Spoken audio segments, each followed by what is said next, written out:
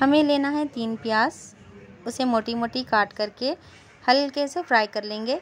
उसके बाद यहाँ पर हम टमाटर ऐड कर देंगे उसी में। टमाटर को भी हल्के से फ्राई करने के बाद, थोड़े से सॉफ्ट होने के बाद उसमें नमक और काजू ऐड कर देंगे। नमक और काजू ऐड करने के बाद हमारी प्याज और टमाटे हो गए। अब हम उसे मिक्सी में चलाकर बारीक पीस लेंगे। यहाँ पर हमारा पेस्ट भी रेडी हो गया है। तो अब मैंने एक कढ़ाई रखा है चूल्हे पर। उसमें ऑयल डाल देंगे। और जो मैरिनेट कर कर चिकन रखा है ना, देखिए मैं मैरिनेट कर कर चिकन रख दी थी पहले से ही, अब उसे भी इस ऑयल में फ्राई कर देंगे अच्छे से। ऑयल में फ्राई करने के बाद इसे भूनते हुए पका लेंगे। फिर हमारा जो पेस्ट था ना, हम जो पीस कर रखे थे, वो भी इसी में ऐड कर देंगे, प्याज, टमाटर और काजू का। इसमें मिला देंगे, मिलाकर अच्छे से मिक्स कर लेंगे। अब दो चमचे गरम मसाला पाउडर डाल देंगे और थोड़ा सा पुदीना डाल देंगे। डालकर इसे मिक्स कर लेके इसमें थोड़ा सा लेमन जूस भी मिला देंगे। हे गाइस अस्सलाम वालेकुम आलियाज़ किचन में आप सभी का स्वागत है। तो मेरी रेसिपी के साथ जुड़े रहिए, वीडियो लास्ट तक देखिए। तो हमारा चिकन बनकर रेडी हो गया है यहाँ पर।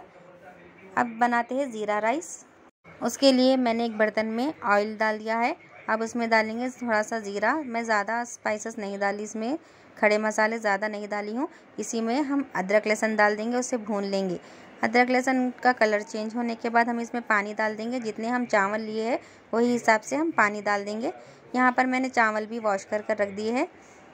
देखिए यहाँ पर, वही पानी में हम दो चमचे नमक भी डाल देंगे। यहाँ पर दो चमचे नमक डालने के बाद पानी में बॉईल आने तक हम इसे पकाएँगे। देखिए यहाँ पर पानी में बॉईल आ गया है।